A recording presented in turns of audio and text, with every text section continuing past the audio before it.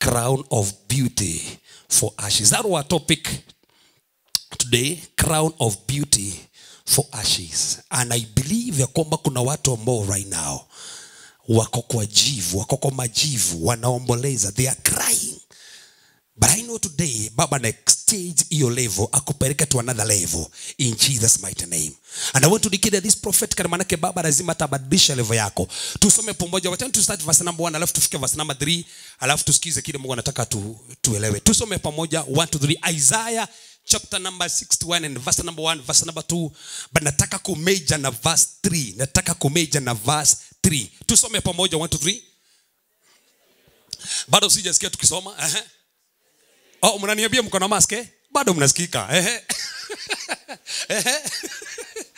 the spirit of the sovereign lord is upon me Ehe. But, nani ambaye anaongea hapa nabii anaongea juu ya nani jesus christ It's good to understand that. anaongea juu ya jesus christ so yule ambaye anaongea mahali hapa nao yule ambaye ananenoa mahali hapa anasema kwamba the spirit of the sovereign lord is upon me ni juu ya jesus christ ni jesus christ manake amequote hii verse kwa luke 4 verse number 18 tusome tena the spirit of the suffering lord is upon me eh? because the lord has anointed me to preach good news to the poor uh-huh. He has sent me to bind up the brokenhearted and to proclaim freedom for the captives. eh, And release what? So next verse. Verse number two. eh, eh, To proclaim the year of the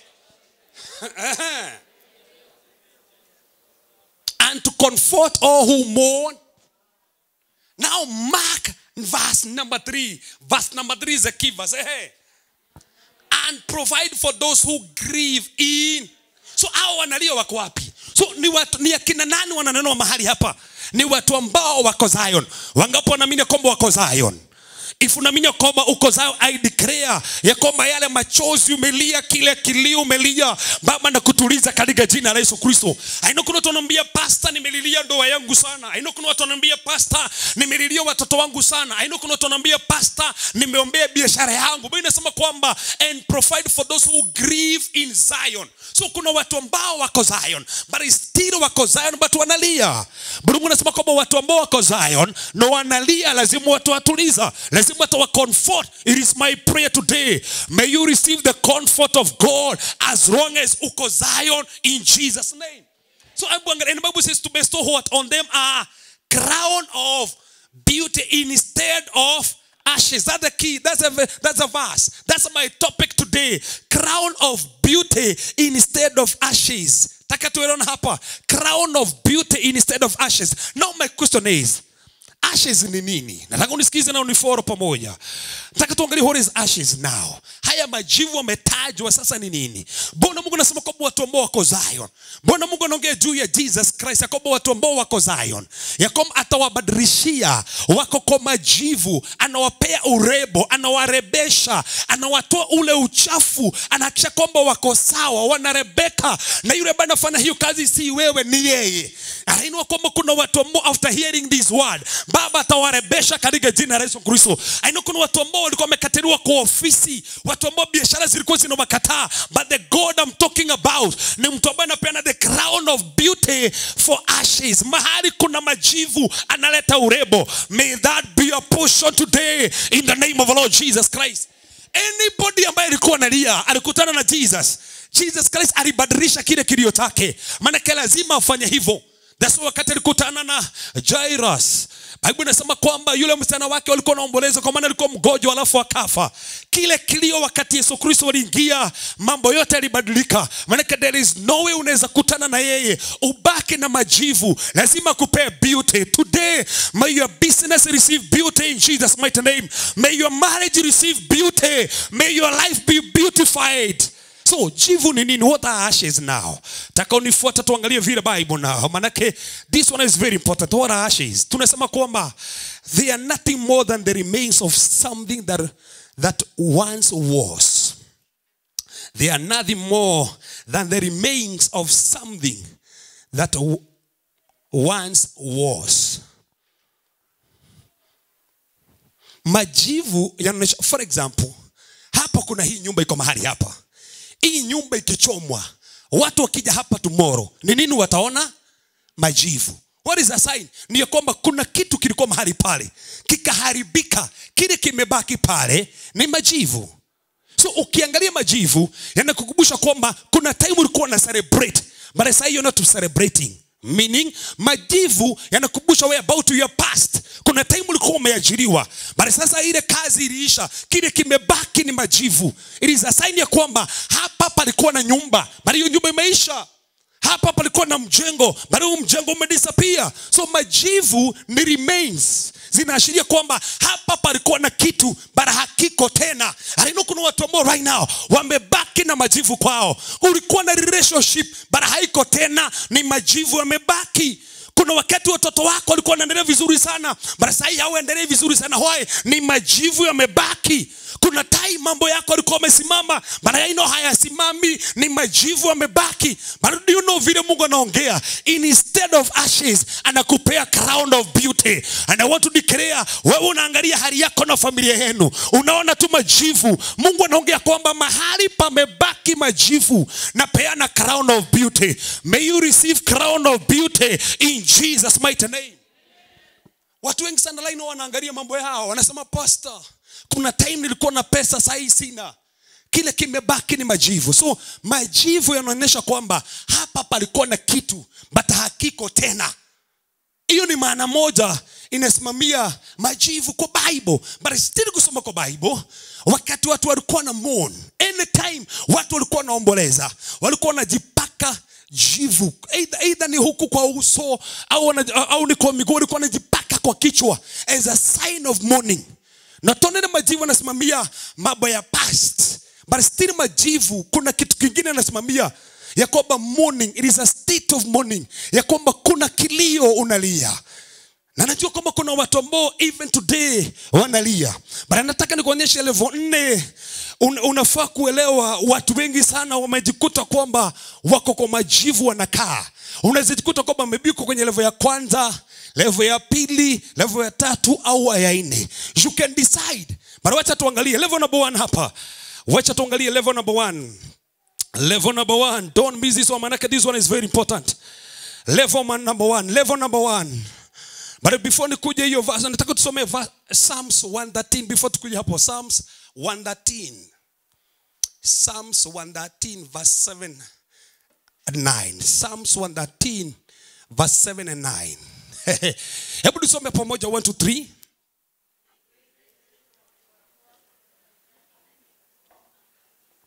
hiyo si mask hiyo. Hebu tusome tena 1 to 3 he raises a poor from the dust and lifts the needy from bible inasema kwamba anainua kina nani? Huwa poor from the and then from there, may that be your portion today in the name of jesus christ I say, may that be a portion today in the name of our Lord Jesus Christ. So, anainua au hainui? Anawainua au hawainui? Do you believe ya kwamba Mungu atakuinua kutoka kwa majivu? Mahali hauna kitu, mahali umekataliwa, mahali watu wanakudharau. Natangaza Mungu ambaye tunaongea juu yake, anainua watu kutoka kwa majivu, anawapeleka tu level ingine ya juu in Jesus mighty name. Na najua kwamba Baba anajionyesha na anajidhihirisha. So mark that.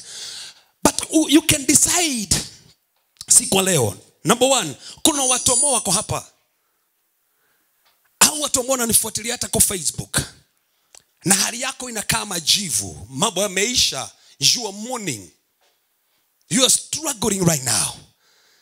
But unaweza make one of these four decisions kwa maisha yako. Decision number one or level number one. You can just sit on the ashes and complain of what went wrong. Kuna grupu ya kwanza.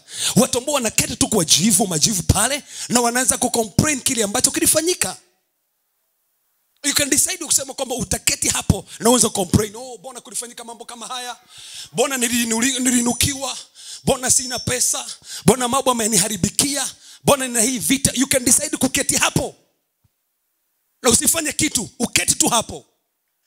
Kuna watu ambao decide hivyo. Kwa sababu sasa do iliharibika useme kwamba utakaa hapo hakuna kitu kingine kila time utakaa unaomboleza you're complaining nasema kwamba mambo yalikuwa hivi nilikuwa na biashara iliisha. You're complaining doing nothing. Kuna watu ambao wana decide hivyo. Watu ambao wanasema group one you can decide to just sit on the ashes and complain for all that went wrong. But kuna group number two kuna group number two.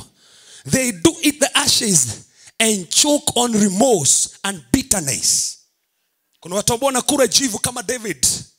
Si kuna watu ambao wanakalia jivu kama job nitakusoma kwa hiyo bible kwa hiyo hiyo verse kwa bible. Kuna wengine ambao kama david david alisema kwamba alikula jivu kama chakula. Au ni watu ambao wanakana that bitterness. Sababu walikosewa wana bitterness for years. Kwa sababu walikosewa wana that bitterness. Na hii maiki inanisumbua. And i believe god atatusaidia. Na baba lazima atatuonekania. Usikae na that bitterness kwa sababu kuna kitu ambacho ulifanyiwa. No baba anainua watu kutoka kwa jivu na tupea crown of beauty. So level number three. Level number three. Nimesema kwamba level number one watu ambao wanakaa kwa jivu wanaanza kucomplain. Level number two ni watu ambao wanakula jivu kama david nitakusomea. Na that bitterness and anger. Level number three kuna watu ambao get this now manake this one is very important. Level number three. Level number three ni yakina nani? Don't miss one manake ukielewa hii haitakusumbua. Au ni watu ambao wanapoa ashes on their head na wanaendelea kumon wanajimwagilia ile jivu kwa, kwa kichwa chao wanaendelea kumon kila time jivu kwa kichwa sio kukalia na sio kukula sasa ni kujimwagilia kwa kichwa. Takuonyesha example kwa sababu utaona mtu ambaye alifanya hivyo. Watu ambao wanajimwagilia kwa kichwa na wanaonekana kwa barabara. Ki- wakitembea kwa barabara wanaonekana kwamba wana majivu sababu wamejimwagilia kwa kichwa wanaendelea kumon maisha yao yote. Na let me tell you whether kazi iliisha. Haufai kuendelea kumon the whole of your life. Uh-uh. That's nimekuja na ujumbe siku wa leo. Baba anapeana the crown of beauty. Mahali kuna ashes in jesus mighty name. But kuna level ya ine ambayo nataka ikuwe ni level yako. Level ya ine ambayo nataka ni level yako. You can decide. You can move beyond the ashes to fight god's plan and purpose reading unaweza decide sema kwamba yes hii hali imekuwa hivi. I have been mourning. Nimeachwa na mzee amekufa. Pesa sina bali unaweza decide sema kwamba sitaka hapa. Nitaendelea na plan of god. Nimeitwa nina mpango wa mungu. Although maisha kao hivyo we have the plan of god. It is my prayer. Hautakaa level ya majivu. Baba nakupeleka to a higher level in jesus mighty name. Nataka tuangalie examples saba kwa bible. Alafu nimalize examples saba kwa bible. Watu ambao walikuwa kwa majivu mungu akawainua. Na nataka tuangalie tukiangalia these seven examples uamini ya kwamba nataka uamini ya kwamba after this kuna kitu ambacho baba anaenda kutenda na kuna mabadiliko baba anaenda kuleta kwako. In jesus mighty name. Case number one. Case number one is job chapter number two verse number eight. Woo! hey job chapter number 2 verse number 8 job chapter number 2 verse number 8 tusome pamoja 1 to 3 then job did what? Took a piece of broken pottery eh? scraped what? Himself with it as he sat among the ashes. Remember mtu ambaye anajua mambo ya job? Job alikuwa tajiri. Job alikuwa na pesa. Job alikuwa na watoto job maisha yake alikuwa amebarikiwa in fact area kwao hakuna mtu ambaye alikuwa ametajirika kama yeye. Barababu inasema kwamba kuna time ilifika shetani akaomba ruhusa kwa mungu na akapewa. Akaja akaanza kufinyiria mambo yake. Akaua ng'ombe akaua mbuzi akaua ngamia akaua watoto wake. That time bible haijasema kwamba job alienda kwa majivu. Hapana. Until the time mwili wake ulikamatwa na akaanda kusuburiwa na magonjwa. Wakati mwili wake ulijaa vidonda binasema kwamba alienda kwa majivu na akaketi mahali pale kwa sababu alianza kuria alianza kujihurumia kwa maana mwili wake umekamatwa na magonjwa. So the is on why alikuwa kwa majivu ni kwa maana mwili wake una magonjwa. So alikuwa kwa majivu ya magonjwa. I know right now kuna mtu ambaye ananiambia pastor nimesumbuliwa na magonjwa for so long. Job the is on why alikuwa kwa majivu. Ni kwa sababu alikuwa amegojeka na watoto wamekufa. Hakuna mtu ambaye anaweza msaidia watu wangapo wanajiona kama job? Watu wangapo wanaona kwamba nimekaa na magonjwa? Kansa imesumbua kwetu asma imesumbua kwetu. Umekaa kwa majivu kwa maana umesumbuliwa na magonjwa. So job alikuwa kwa majivu kwa sababu alikuwa mgonjwa. Na kuna watu ambao wako kwa majivu kwa sababu kuna magonjwa anawasumbua aino kuna tibi imekusumbua for so long. But God. Although chapter number 2 of Job tunamwona kwa majivu. Soma kwa Bible. Wakati tulimalizia by the way kile kinanijenga. Kuna mtu ambaye anajua ni lini Job alipona. By the nani aliombea Job apone? Usikute kwa verse mahali Job aliombea upone. But kuna kitu kilinijenga. Wakati Mungu alitokea Job na kaanza kuongea na Job. Then Bible inasema